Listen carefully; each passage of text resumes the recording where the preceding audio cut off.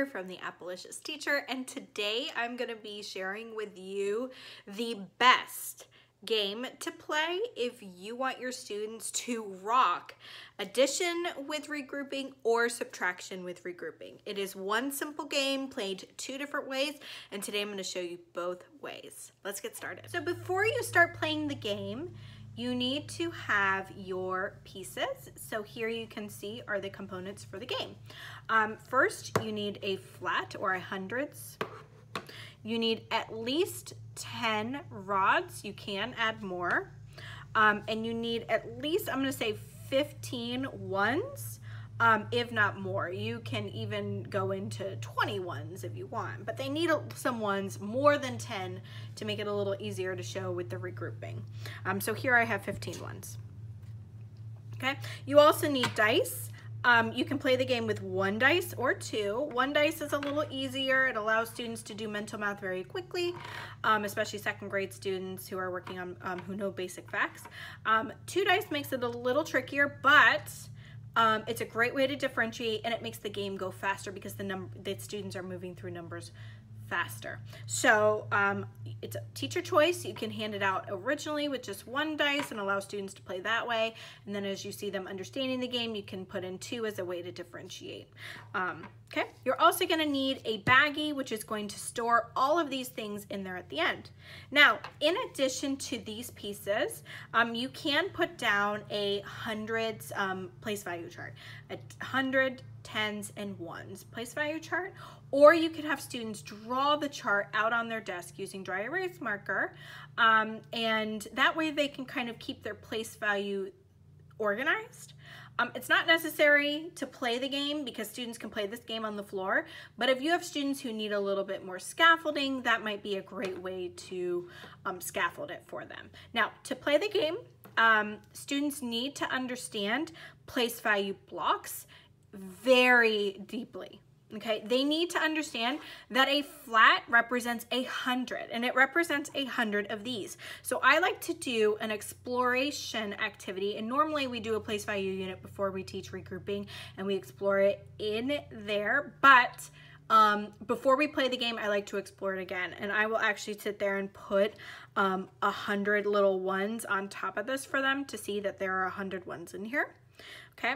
I also like to show that there are 10 rods in here. So I will lay out the rods on top of the flat for them to see that there are a hundred um, or 10 rods in one flat. So here we can see one, two, three, four, five, six, seven, eight, nine, ten. And it's important that students know and understand that there are 10 rods in a flat or in a 100, or 10 tens in a 100. So I like to show them that. And then it's also important that they understand that a rod equals 10 or 10 ones. And I oftentimes tell them like, think of this as being broken up and we can break it apart. Sometimes even if you have foam ones, it makes a great visual to actually sit there and cut your rod into the ones so that students can actually see those ones happening. Okay. Back up there. All right. So Here's where we're gonna keep our blocks and then down here is our playing space. So the goal is race to a flat or a hundred. And so we're gonna do that by rolling our dice. And each time we're gonna be grabbing out the number that we roll until we have to then trade in and then trade in and the first person to get to the flat wins. Now when I play this game as a class, I always like to play the first couple of rounds together, whole group under a document camera on the projection board, however it's best for you to play, play it together. No manipulatives for the students, just them watching so that they understand how you're trading in ones to get to the rods and how you're trading in rods to get to the flat. Okay, so let's first start by rolling our dice. And we rolled a one, so we're gonna pull down one. And we rolled two, we're gonna pull down two. And you can see why sometimes using two dice makes it go a little faster. Now we have six. One, two, three, four, five, six. And remember, I tell them, anytime you get to enough down here for a, a rod, you're gonna wanna trade it in because the goal is to get rid of all the ones and get to all the rods and then to the flat. So I'm gonna ch double check to see if I can trade in for a rod. So two, four, six, eight, nine. Oh, I'm so close. I just need one more to get be able to trade in.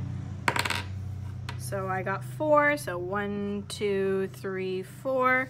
Now I'm gonna look. I obviously have more than a rod here, so I need to go in and trade. So I'm gonna count out my 10 and trade. One, two, three, four, five, six, seven, eight, nine, 10. I'm gonna push that back and I'm gonna grab the rod. Okay, now I'm gonna roll again. Here I have three, so I'm gonna grab down three more. One, I tell my students, look how close you are. We're at 10, 13, 17, oh, ooh, six. One, two, three, four, five, six. And then I look and I tell them, uh oh, we can trade in for a rod. Let's do that. So one, two, three, four, five, six, seven, eight, nine, ten. And then I'm gonna grab the rod and I'm gonna keep rolling. And we're gonna keep playing like this until we make it all the way to the flat.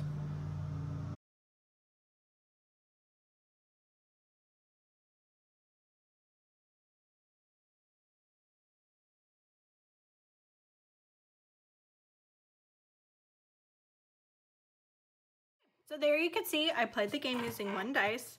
Um, it does take a little bit longer, so we sped it up there.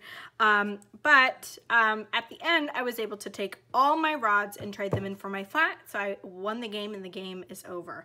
Um, tell your students not to worry about the ones at that point because they have more than 100 here and that's okay. Um, so that's how you would play the game Race to a Flat, which helps teach students about regrouping with addition. So to take this game and then apply it to the algorithm or even to the understanding of regrouping, when you're having students regroup, you're going to show them along with writing it out, how those correlate to their base 10 blocks. So that's how this game helps, okay? And I like to play this game for about two to three days before ever doing any type of work with um, regrouping or with actually writing any numbers out. And the reason why is because these help, this game helps them understand how to trade in those ones to get those rods and how to trade in those rods to get to that 100.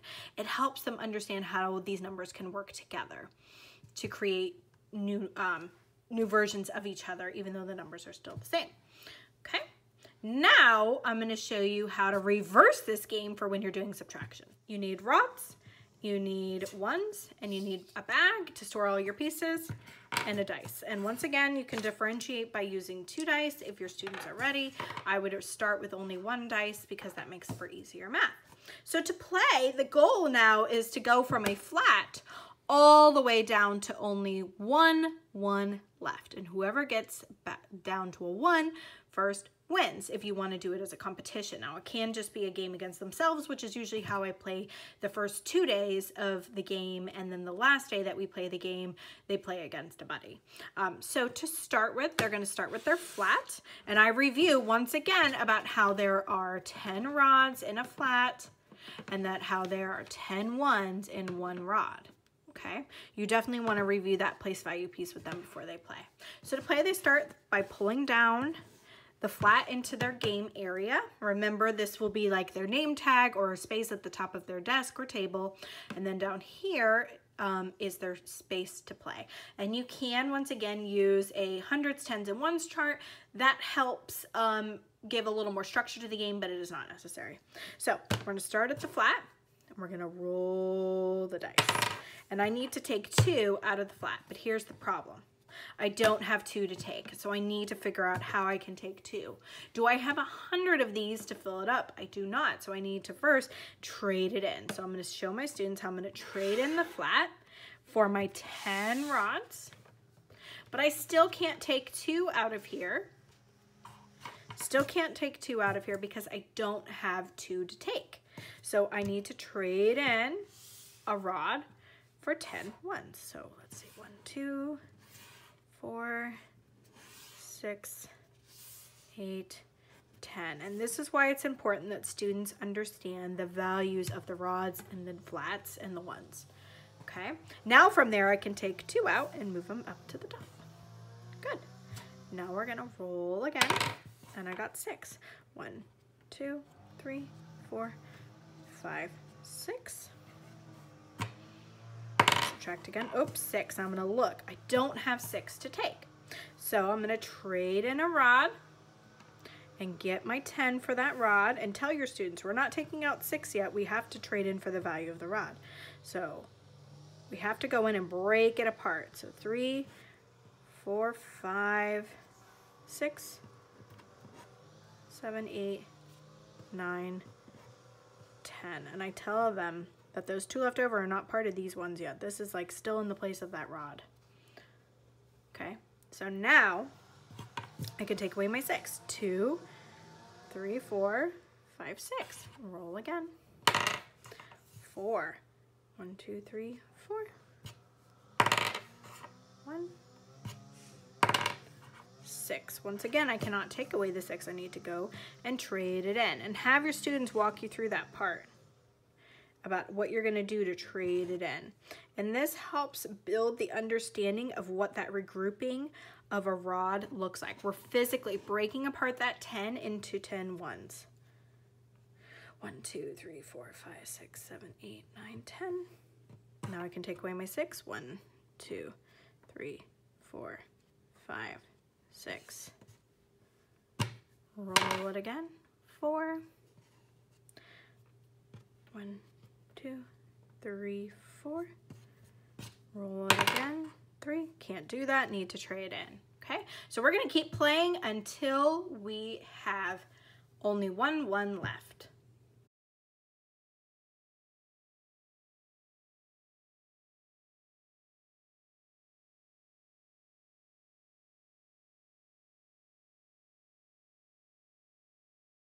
Okay, so that's how you play the game race to a one. Remember the objective is to get to one left and we did.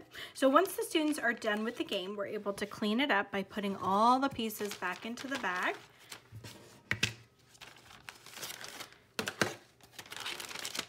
And you can, um, I don't like to keep the dice in here. Um, I keep that in a separate bin.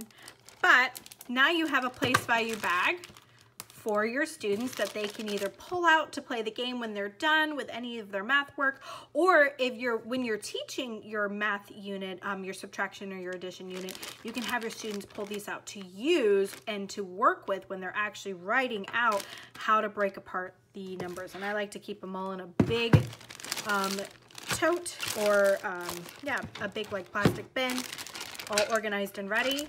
Um, and I'm going to tell you the best tip I have for you on this one is have a student do these and set them up and just tell them that they need to have one flat, 10 rods, and 15 ones, and that every bag has that. Um, here you can see I have some extra ones, so it'd be great for a student to go through and kind of organize these and make sure that every bag has that, so that students can just grab these to play rather quickly, or you can pass them out when you're doing place value work or when you're teaching your addition and subtraction unit right, guys, so that is how you play the must play game before you do any type of regrouping work with your class. Um, the game um, Race to a Flat helps build the understanding of regrouping as numbers grow and how they can trade in their ones to make a new 10. Um, and then the subtraction game um, Race to a one, help students understand how they can trade in their rods for new ones to break down numbers smaller and smaller as they subtract. Um, direction pages I do have available as a freebie in my store and at the end of this video I will put um, or at the bottom of this video I will put a link so you can grab the direction pages and that way you can play this game with your class. Happy teaching friends!